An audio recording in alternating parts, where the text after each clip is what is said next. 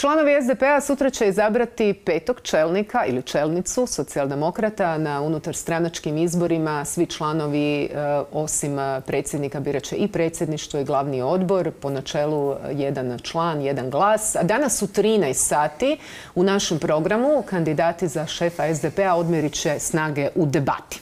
A gost novog dana jutros je potpredsjednik SDP-a, predsjednik SDP-a Splitsko-Dalmatinske županije Ranko Ostojić. Dobro jutro. Dobro jutro vama i vašim gledatelja. Vi ste u ovoj kampanji napravili, da tako kažem, jednu intervenciju, odnosno kandidirali ste se pa ste povukli kandidaturu jer ste željeli obratiti pozornost na regularnost.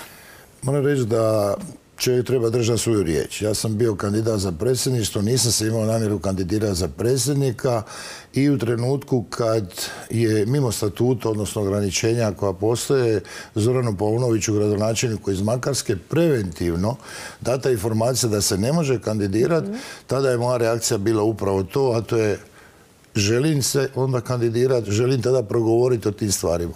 Ja neću govoriti samo o neregularnosti, nego govorim o tome da je nažalost potrebna pobuna da bi se neke stvari mhm. promijenile. Prvo se nadam da neće sutra biti izabran predsjednik ili predsjednica, jer e, u ovom trenutku sve se radi da jedan kandidat prođe već sutra i da u prvom krugu pobjedi, pa se nadam da ćemo imati drugi krug. To bi bila velika stvar za SDP radi naših demokratskih odnosa. Mhm. Ne govorim ja sad protiv svoje stranke, a govorim o nečemu što smo mi imali. Dosegli smo visoke standarde. A to znači mi smo imali sučeljavanja koja su bila pred tisuću ljudi na vele sajmu u mhm. svim sredinama, u regijama.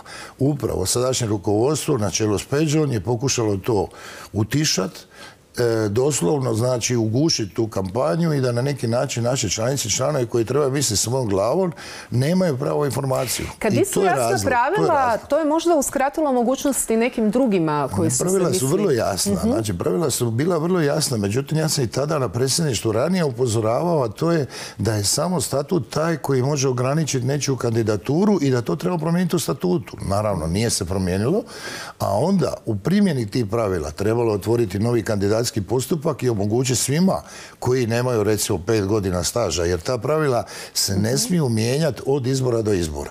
Evo samo da vas podsjetim, na izborima 2016. godine Orsat Miljanić je bio manje od godinu dana u stranci i bio je kandidat. A sad se traži ovdje 11 dana je problem za Zorana Paunovića. Prema tome, te stvari ne mogu biti mijenjane svaki čas.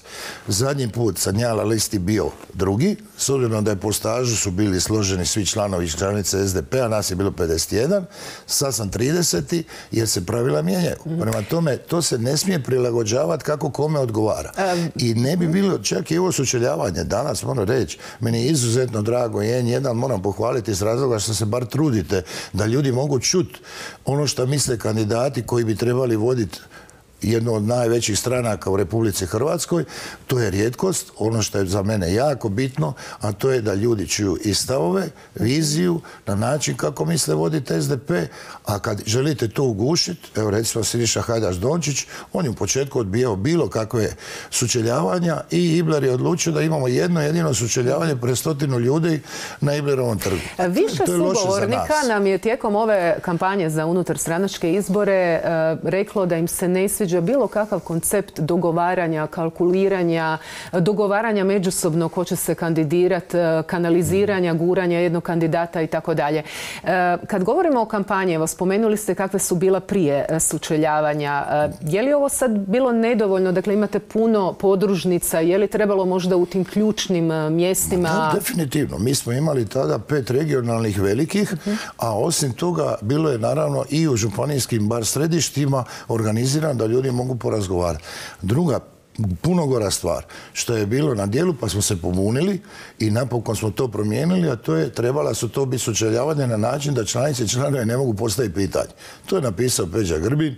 Žalosno je s njegove strane da u socijaldemokratskoj stranci ti uskraćuješ pravo članicama i članovima da pitaju na sučeljavanju i da postave pitanja kandidatima. To smo uspjeli na neki način svi zajedno promijeniti i ja mislim da je to jako bitno.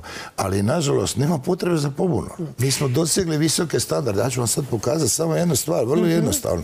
To znači tada, na izborima koji smo imali, Svi članovi i članice, evo izvolite, možete pogledati. To je koje godine? Znači, to je bilo 2016. godine. Imali ste unutra sve članovi i članice SDP-a koji su u najmanju ruku, to je išlo svim ljudima. Sad imate trenutak u kojemu će 9000 članova dobiti ovaj mail i to je to.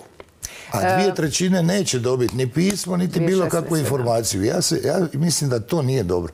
Mi smo bili daleko bolji uvijek. I predvodnici tih demokratskih promjena unutar stranački, jedan član, jedan glas, i došli smo do toga da nažalost uzmemo te metode koje su imanentne naravno e, DP-u, HDZ-u, a mi nismo dioničko društvo. Dakle, trebalo je odraditi bolju, bolju kampanju. Mi smo jučer e, pratili dakle, sučeljavanje kandidata u središnjici i čuli smo zapravo cijeli niz e, kritika. U redu je ljudi koji su se kandidirali i kandidirali su se zato da poprave stvar, zato što smatraju da treba ići bolje i o razini socijaldemokracije, i o terenu, i gubljenju kontakta s terenom, i o odlasku ljudi, i o boljoj organizaciji i tako dalje i tako dalje.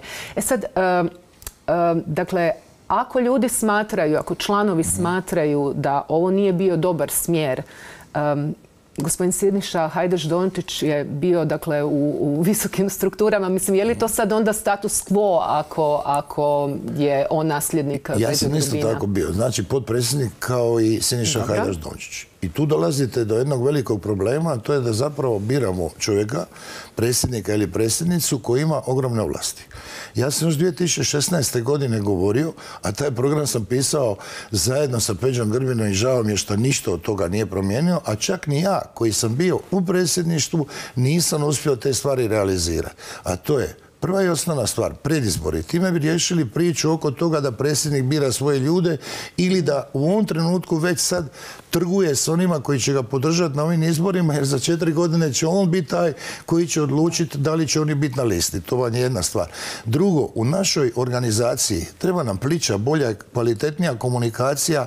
Evo sad taj primjer sa mailovanje 9000 ljudi dobije informaciju, a dvije trećine ostalih članova nemaju informaciju, odnosno nemaju nikakvu informaciju o tome ko su kandidati, šta misle, koje su im vizije i tako dalje. Prema tome, kad smo to govorili o vladi u Sjeni 2016 unutar stranačku demokraciju popravljanje, sve ono što se u debatama govorilo.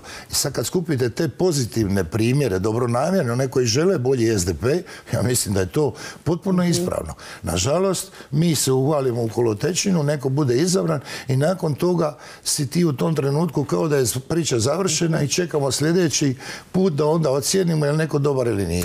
Kako biste vi ocijenili e, dakle, rad Peđa Grbina e, do sada u trenutku nakon izbora se dakle povukao. E, što je dobrog napravio, što je lošeg, što nije napravio? Ja sam ovaj, u svakom slučaju sa Peđom Grbinom bio zajedno te 2016. godine i cijenim ga kao čovjeka koji je tada držao riječ. Nakon toga E, trebate vidjeti kad čovjek dobije vlast kako se ponaša. Ja sam bio jedan od rijetkih u predsjedništvu koji je nažalost bio izoliran, koji je vrlo često ostao usamljen i, ali to vam kod mene ništa ne znači. Ja sam po onoj krleženoj staroj, to što sam sam još uvijek ne znači da nisam u pravu.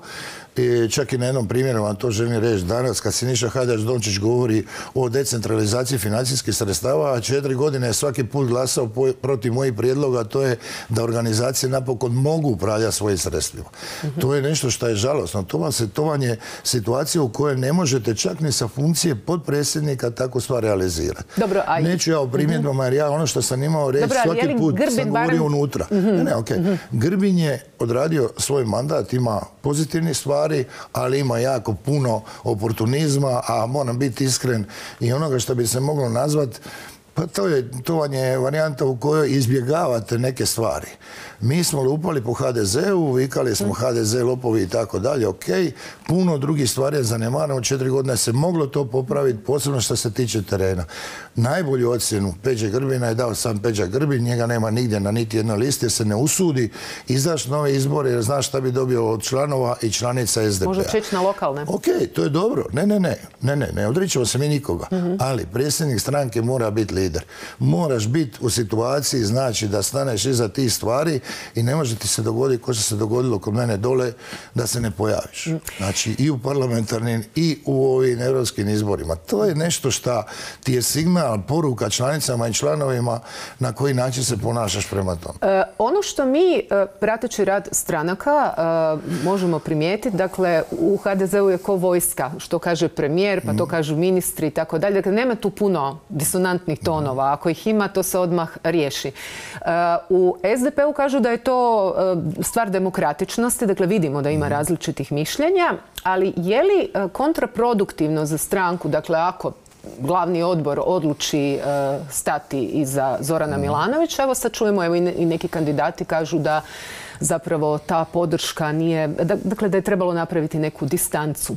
E, moram reći da u pravo vrijeme ta odluka donesena, mhm. e, kampanja je krenula i prema tome neko može izraziti svoj stav da misli da je to eventualno pogrešno ili da u krajnjem slučaju može zatražiti, ali to mora biti u skladu naravno sa našim demokratskim principima. Što se mene tiče, odluka je donesena, stojimo iza toga i u krajnjem slučaju i sad onaj ko bude izabran dobit će podršku članice članova, ali to ne znači da neće dobiti kritiku, da neće dobiti mhm. dobronamjene savjete, da neće dobiti glasno, znači protivljenje nekim stvarima ako nešto dobro ne radi. ja mislim to je, to je veličina SDP-a upravo u tome da e, ne moram nužno šutit, niti moram biti samo prijatelj sa predsjednikom, niti se moram uklopiti u takvu vojsku ili ti ga, to je sekta kako se kaže HDZ u kojemu se unutra dobiješ iskaznicu i onda se zaštićeno od svega možeš raditi što te Da, da, ako ste član, e, mislim, SDP-a, isto ste unutra, dakle trebaju se poštivati pravila stranke. Mi možemo i u našoj kući puno toga riješiti i meni je jako drago da ovo sa šta imamo i debatu i razgovore i tako dalje, to treba pojačati i među svojim članicama i članom. Postoji li tu kriza sa, sa liderima? E, mislim, sto analiza smo tu radili. Dakle, neki ljudi imaju određene e, vještine, imaju neke komparativne prednosti, e, jednostavno i u politici. To se ne da ni naučiti u treninzima. Mhm. Postoji li tu kriza lidera i kod vodstva? Ali evo i u ovom slučaju koga podržati za predsjednika? da niste Milanovića, koga bi drugog? E, SDP u ovome trenutku nema potrebe razgovarati o drugima kad smo to već donijeli odluku. E, uz sve primjedbe koje bi mogli reći u Milanoviću, da li se drži znači određenih lijevih ideja i tako dalje, to bi se dalo razgovarati, ali ja mislim da je jako važno da u ovom trenutku smo to odlučili. Kod lidera i kod izbora vi imate vrlo jednostavnu stvar. Nju prepoznaju ljudi. Politici je dojam jako važan. Prema tome, ako niste došli i komunicirali s njima, onda je situacija vrlo problematična. Vi ne možete reći Andreju Plenkoviću da on nije lider. Je, zna. To je druga stvar što sam ja protiv njegovih stavova i tako dalje. Ali on funkcionira u svome sustavu na način kako je to njima redovna stvar. Prema tome, ja ne želim da to imamo SDP-u. To znači kod njih 13.7. kad su imali izbore, sve je unapred bilo rečeno, sve se znalo. E pa onda je bio pokušaj da se to dogodi u SDP-u. Nemojmo kopirati HDZ u njegovim lošim varijantama. Kopiramo HDZ u organizacijskom, u kvalitetnom smislu, u smislu da možemo odraditi određene stvari svi zajedno. Ja uvijek kažem da jedan čovjek nije stranka, tako i da ovo pitanje oko lidera, moram tu još nešto stvar reći, mi smo birali iza Zorana Milanovića, Davora Bernardića. Mlad, sve ono što se kaže kaže kao mi želimo sad nove i tako dalje. Pa smo dobili Grbina, jednako tako mladoga lidera. Meni kaže da sam star, ok, u redu, nema nikakvog problema. Ali moje pitanje je vrlo jednostavno. Šta smo time dobili? Hoćemo li robovati takvim uzusima ili ćemo se ponašati na način da birate onoga za koga mislite da može napraviti najbolje za SDP, u idućem mandatu, da ga popravimo, da budemo bolji i da se vratimo tamo, ono što meni prigovaraju da želim vratiti SDP desetljeće unazad, apsolutno da. To znači vratimo se mi nazad u 2011. godinu kad sam ja bio šef kampanje za izbore, kad smo imali 81 mandat u Saboru vrlo rado da se vratimo, znamo kako to napraviti, ne trebaju nama ni strani savjetnici, znamo te stvari odraditi i to je ono što u ovome trenutku moramo promijeniti. Ne trebate nužno imati samo svoje prijatelje i one koje vas tapšu po ramenima, uključite to. Zato je ovo vrlo važno. Možda je i moj nastup danas na neki način bitan jer nije ovo samo biranje predsjednika ili predsjednice, već je biranje da se ne dogodi da neko dobije apsolutnu vlast, faraonske ovlasti o kojima sam malo prije govorio, a da pri tome ima i grupu klimovaca koji će ga tapšati radi svojih interesa, osobnih interesa u predsjedništvu jednako tako uglavnom. Da, ne raditi negativnu selekciju. Dobro, to je sada apel na savjet zapravo svakog člana koji, Članovi neka biraju, a ne klanovi. To je moj, moja poruka. E, prvi potez novog vodstva što bi trebao biti, uskoro su i lokalni e, izbori, a vidjet ćemo hoće li na onim e, parlamentarnim, dakle SDP sad ima već jednu seriju dakle, mandata u oporbi. Prvi potez je naravno formiranje glavnog odbora što je preduvjet znači, za završetak ovog izbornog procesa, ali iza toga je formiranje ekipe koja će biti podrška lokalnim organizacijama za izbore možemo to zvati stožer kako god hoćete, ali u ovome trenutku dok god organizacije moraju moliti da bi kupile karanfile i tražiti od diblera dozvolu da se tako nešto napravi, a time se guši njihova aktivnost, ta stvar se mora pod hitno promijeniti. Nismo mi stranka koja ima takve financijske dubioze, to smo riješili, upravo na uštrb lokalnih organizacija, promijeniti stvar i krenut odmah. Dakle, Grbin je stabilizirao financije. To je točno, ja, tu nema što reći. Ne, nije stabilizirao financije, ali govori na račun čega. Znači, mi smo vraćali dugove koji vjerojatno ne bi trebali pripadati SDP-u, to je riješeno, mi sad ulazimo u novi početak i nema nikakvog opravdanja da sada, nakon stabiliziranih financija, evo to je dobra stvar od strane Peđe Grbina, iako sam se ja protivio tome, jer je to moglo biti napravljeno na račun toga da lokalne organizacije ipak dobiju sredstva, a da ne plaćamo neke druge stvari koje nam nisu bile potrebne. Posebno po pitanju stranih savjetnika od kojih ne znam kakva je korist bila. Ja sam mišljenja da e, priprema za lokalne izbore, a naravno nama ostaje ova obaveza da riješimo i da naš kandidat pobjedi na predsjedničkim izborima. Prema tome mi ulazimo u ozbiljni izborni ciklus i mislim da je trenutak da odmah nakon ovoga se shvati da jedino zajedno možemo odraditi priču i pobijediti. Tu nam je zamah. Znači, nama bi pobjeda Zorana Milanovića u svakom slučaju bila zamah za lokalne izbore, a nakon toga treba dosegnuti više, a ne samo čuvati utvrde u kojima sad imamo vlast. Hvala vam gospodine Ostojić na ovom razgovoru. E, ja ću samo podsjetiti gledatelje. Danas u 13 sati sučeljavanje kandidata pred sutrašnje unutar stranačke izbore. Hvala vam. Hvala vam.